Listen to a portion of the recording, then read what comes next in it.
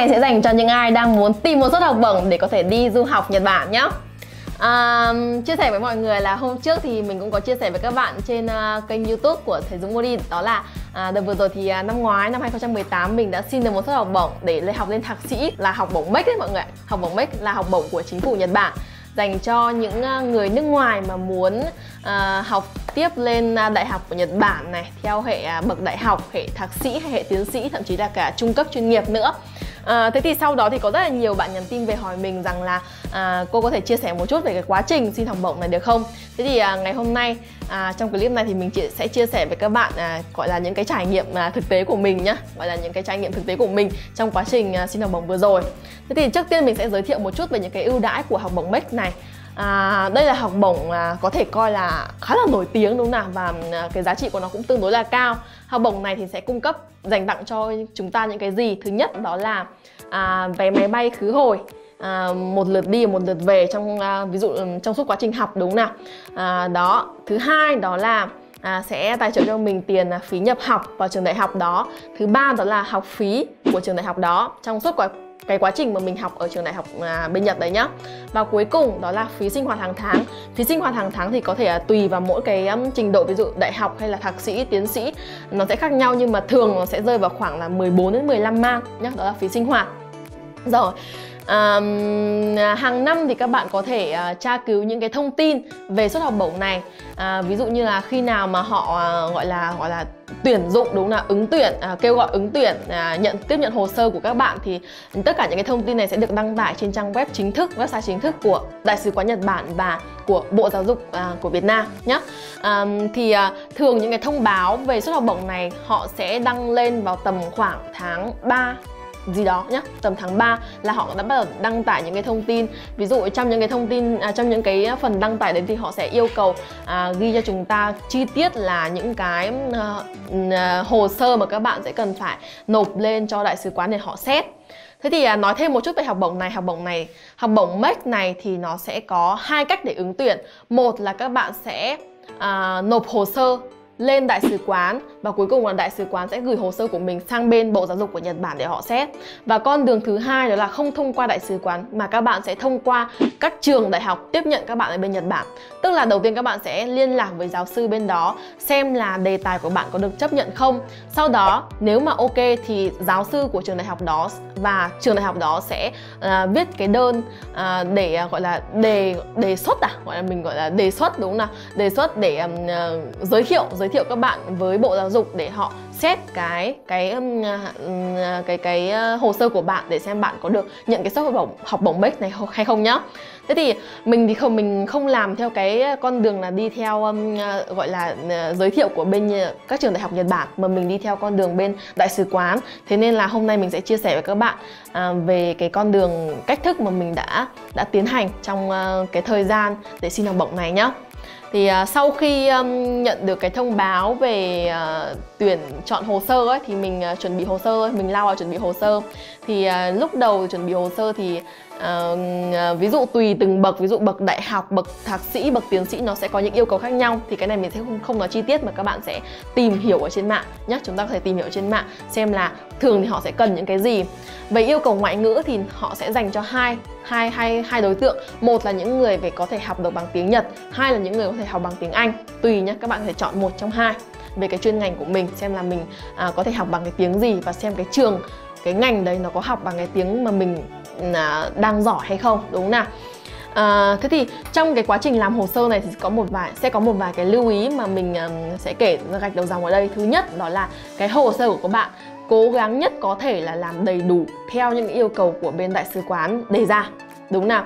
À, ví dụ như là họ um, yêu cầu rất nhiều về à, nộp bảng điểm này hay là yêu cầu về bằng tiếng Anh, tiếng Nhật đúng nào? Nếu các bạn có cái gì thì bạn cho hết vào Tức là làm thế nào để đầy đủ full hết những, những cái gạch đầu dòng mà đại sứ quán yêu cầu trong bộ hồ sơ đấy. Thứ hai đó là hồ sơ của chúng ta phải tuyệt đối trung thực đúng nào? Tuyệt đối trung thực không thể nào mà có cái gì đó giả mạo ở đây bởi vì chắc chắn nếu các bạn có làm giả mạo cái gì đó thì sau sau đó đại sứ quán sẽ tra ra thôi nhá. Nhưng mà mình nghĩ là mình tin rằng nếu như các bạn mà đã uh, có cái hứng thú và muốn học đi học theo kiểu uh, để xin học bổng khá là giá trị như này chắc chắn sẽ không có chuyện chúng ta làm hồ sơ giả mạo gì đó đúng nào? Nhưng mà mình sẽ nói để cho uh, cho chắc nhá. Thứ ba là cái mà chúng ta cần lưu ý đó là à, nếu mà các bạn xem được clip này của mình ngay từ lúc mà các bạn đang học đại học hay là thậm chí là nếu mà các bạn à, đang muốn học lên um, thi ứng ứng tuyển học bổng max theo hệ à, đại học á à, mình là hệ thạc sĩ đúng nào? Ứng tuyển hệ à, tức là các em cấp 3 chẳng hạn. Thì các bạn hãy cố gắng nhất có thể chúng ta hãy đạt được thành tích tốt nhất trong cái thời gian mà các bạn học cấp 3 hay là học à, đại học bởi vì họ sẽ đánh giá rất là nhiều ở cái vòng hồ sơ họ sẽ đánh giá rất là nhiều ở cái chuyện bằng cấp của chúng ta. Điểm à, tốt nghiệp đại học hay điểm tốt nghiệp cấp 3 hay điểm thi đại học của bạn của các bạn càng cao thì càng có cái gọi là cái khả năng à, giành được suất học bổng nó cao hay là chưa chắc là giành suất học bổng nhưng mà tức là à, khả năng vượt qua vòng ứng tuyển hồ sơ sẽ cao hơn. Đó. À, ngoài ra còn gì nhỉ? Ờ đấy đại khái là như vậy đúng nào? À, đó là một chút lưu ý về phòng tuyển chọn hồ sơ. Thế sau khi nếu như các bạn đã qua được vòng tuyển chọn hồ sơ này chúng ta sẽ bắt đầu bước vào cuộc hành trình tiếp theo. Đầu tiên đó là các bạn sẽ thi vòng thi viết đúng nào vòng thi viết này thì ờ, sẽ thi um, ví dụ các em mà uh, học um, đăng ký học bổng Max theo hệ và học đại học bình thường ở bên Nhật á tức là các bạn từ cấp 3 lên đại học đúng nào? Thì các bạn sẽ có các kỳ thi uh, tự nhiên và kỳ thi xã hội đúng nào? Còn những ai mà học thạc sĩ hay là ứng tuyển lên tiến sĩ ví dụ như thạc sĩ như mình thì các bạn sẽ chỉ cần thi kỳ thi tiếng Anh và tiếng Nhật thôi. Đó thế thì à, bởi vì mình là không rõ nhiều lắm về hệ đại học nên mình sẽ nói cụ thể hơn về cái mà mình đã thi đó là hệ thạc sĩ nhá. Thế thì chiều hôm, hôm ý mình thi mình thi buổi chiều thì mình sẽ thi hai bài thi một là thi tiếng anh sau đó là thi tiếng nhật. À, thế thì có thể có nhiều bạn sẽ rất là lo lắng rằng là nếu mà mình biết tiếng Nhật mà không biết tiếng Anh hay là mình biết tiếng Anh mà không biết tiếng Nhật thì phải làm như thế nào thì các bạn yên tâm. Đó là khi mà người ta xét cái kết quả của vòng thi viết này thì họ sẽ căn cứ vào bài thi nào mà các bạn được đạt điểm cao hơn đó đạt điểm cao hơn. Ví dụ như trong trường hợp của mình thì mình điểm cao điểm nhật điểm tiếng nhật của mình cao hơn nên là mình uh, họ sẽ xét kết quả của mình theo theo cái bài thi tiếng nhật đấy. Còn tất nhiên bạn nào mà học tiếng anh á, thì um, họ sẽ xét xét theo tiếng anh đúng nào? Thế thì về bài thi tiếng anh thì hôm ấy mình làm thì bởi vì mình lâu lắm mình học tiếng anh à không không không có làm các bài thi tiếng anh nữa nên là mình không rõ lắm cái khả năng của nó như thế nào. Nhưng mà còn với đối với tiếng nhật thì à, trong bài thi tiếng nhật đấy thì nó sẽ có bao gồm những bài thi trắc nghiệm và toàn bộ bài thi nó sẽ trải dài kiến thức từ sơ cấp trung cấp cho đến cao cấp nhá. Trung cấp thì sẽ tương đương với N4 N5 à, à ờ, sơ cấp thì sẽ tương đương với N4 N5 trung cấp thì sẽ tương đương với N3 còn cao cấp sẽ tương đương với N1 N2 đó thế thì có hai cái điểm mà mình nhận thấy ở trong bài thi này. Thứ nhất là về mặt à, câu hỏi thì nó sẽ thường là về dạng trắc nghiệm đúng không nào? Ngoài ra có hai cái lưu ý. Thứ nhất đó là sẽ có cái bài thi là bài thi đọc chữ hán và viết chữ hán thì rất là may chữ hán cũng là một điểm mạnh của mình, thế nên là hôm ý mặc dù à, đợt ý mình đi thi mình không ôn gì nhiều đâu, nhưng mà rất may là mình cũng đã viết được chữ hán và đọc được chữ hán tạm tạm. Đó. Tiếp theo đó là cái lưu ý thứ hai với các bài thi viết, đó là mình thấy đó là cái bài đọc của nó khá là dài dài hơn rất là nhiều so với những cái bài thi GLPT bình thường của chúng ta. Nó có sẽ có từ khó đến dễ, đúng không nào? Và mình nhớ hôm mình mình làm cái bài đọc ở mức độ cao cấp thì mình nhớ nó phải đến gần hai trang giấy ấy. tức là đọc rất là mệt. Thì hôm ấy thi xong hôm ấy thi xong viết là cũng cực kỳ là mệt luôn. Đó. Thế sau đó khi mà các bạn đã vượt qua được vòng thi viết rồi, thì chúng ta sẽ bước sang vòng thi nói.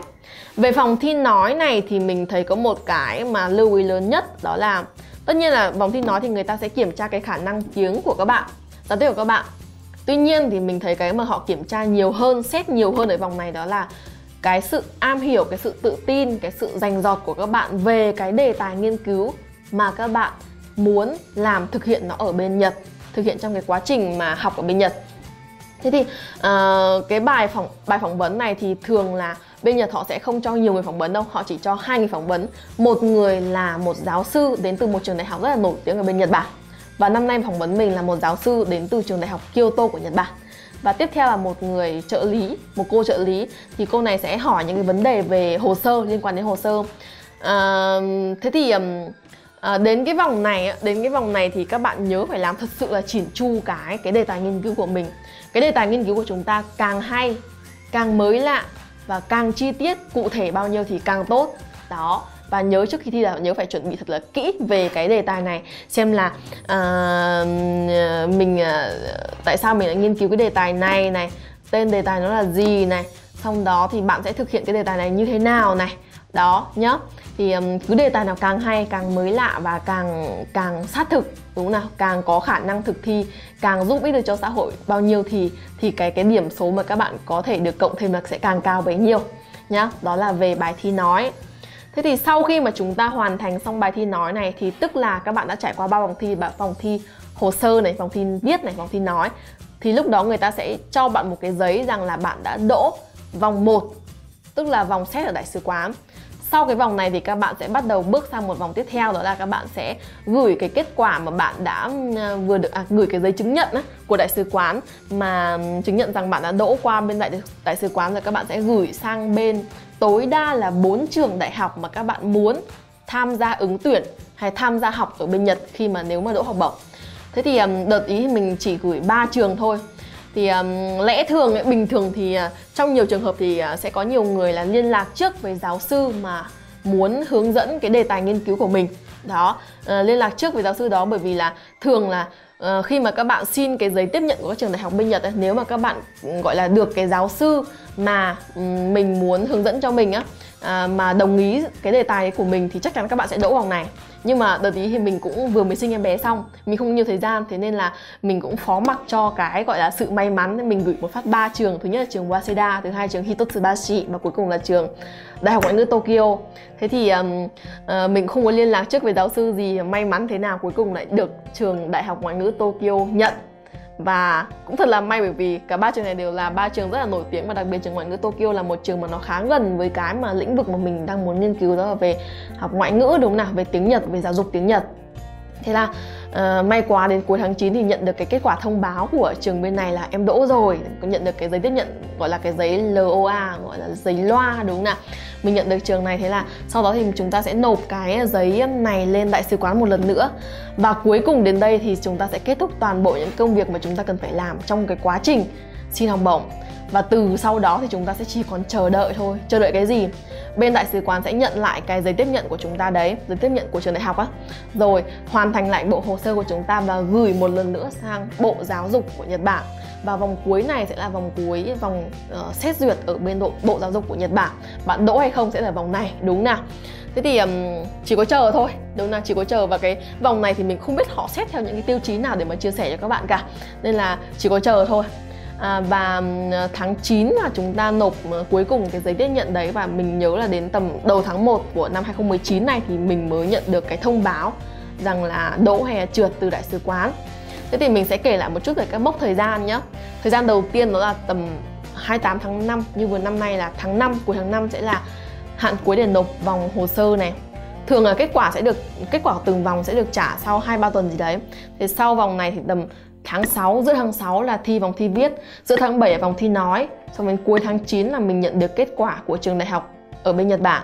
Và cuối cùng là đến tầm tháng 1, đầu tháng 1 của năm sau thì mới nhận được kết quả của của trường à của Bộ Giáo dục bên Nhật, tức là từ hồ sơ cho đến lúc nhất lúc mà nhận kết quả tầm 7 tháng.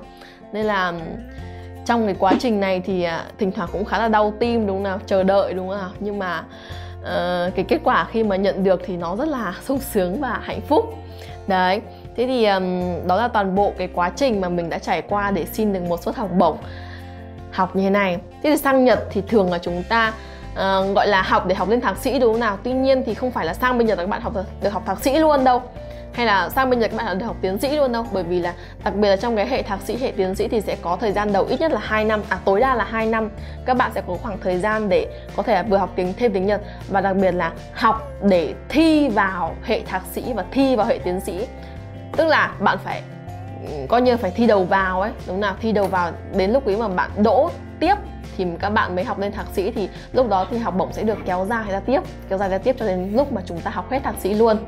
Đấy, thế thì mình nghĩ là đợt này là lý do vì sao mà mình được cái suất học bổng này khi mà mình tổng kết lại như này thì mình sẽ thấy có vài điểm như sau thực ra là trong quá trình thi học bổng vừa rồi thì mình không có chuẩn bị gì nhiều về mặt kiến thức cả mọi người đa số bởi vì là bật mí với các bạn là lúc mà nộp hồ sơ, lúc ấy mình mới thi, mới đẻ em bé sau được một tháng rồi mọi người đẻ em bé được một tháng thì thực sự là không có nhiều thời gian để học hay ôn gì cả. Mà tất cả những gì mình làm được đó là chuẩn bị đầy đủ hồ sơ giấy tờ. Thế thì mình nghĩ lý do vì sao mình đỗ được thì đầu tiên đó là về cái, gọi là, cái cái cái bằng cấp hay là cái cái hồ sơ lý lịch của mình cũng tương đối là sạch sẽ và đẹp đẽ. Đấy, từ học đại học cho đến lúc mà đi làm, đúng nào? Đấy là cái đầu tiên. Thứ nhất là về hồ sơ điểm đi các thứ là cũng phải sạch sẽ rồi. Tiếng nhật cũng phải n một các kiểu, đúng không? Thì họ mới xét cho này. Thứ hai, cái thứ hai đó là uh, để qua vòng thi viết thì tiếng nhật kiến thức tiếng nhật khá là chắc nên không không vấn đề gì. Cái thứ hai mình thấy nó rất là quan trọng. Một là hồ sơ phải đẹp nhá. Hai đó là cái đề tài nghiên cứu các bạn chọn ra các bạn muốn làm nó phải thực sự là ý nghĩa thực sự là có tính khả thi và ờ, nó nó nó nó thực tế nó thực tế và nó rõ ràng rành mạch được trình bày cực kỳ là rõ ràng rành mạch đấy là hai cái. Một là hồ sơ phải sạch sẽ đẹp đẽ nhá và sáng sủa nữa. Thứ hai là cái đề tài nghiên cứu các bạn phải rõ ràng rành mạch cụ thể có tính thực thi cao. Đấy đấy là hai cái mà mình nghĩ rất là quan trọng để giúp các bạn có thể vượt qua được từng vòng từng vòng cho đến tận vòng cuối cùng. Và tiếp theo một cái nữa đó là gì nhỉ?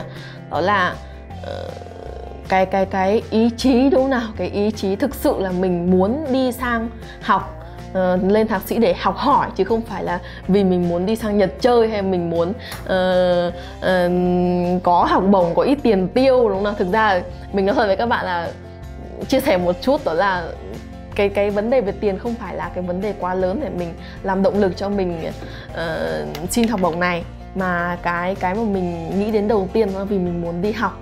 Và bởi vì cũng là một cái suất học bổng mà mình đã rất đã từng rất là hâm mộ từ thời còn học sinh viên nên là mình đã à, đã đã um, xin đã đã nộp hồ sơ để xin nó. Thì tất cả những cái yếu tố đấy thì có lẽ đã giúp mình đã đạt được cái suất học bổng này. Nên là mình cũng hy vọng là clip này sẽ giúp ích cho những bạn nào mà đang muốn tìm một suất học bổng để đi sang học mà bên Nhật Bản nhé Ok và cuối cùng nếu các bạn thấy clip của mình ngày hôm nay có ích cho một số trong số các bạn đúng nào thì nhất định là hãy um, like và chia sẻ clip này cho mình nhé. Cảm ơn mọi người rất là nhiều. Bye bye.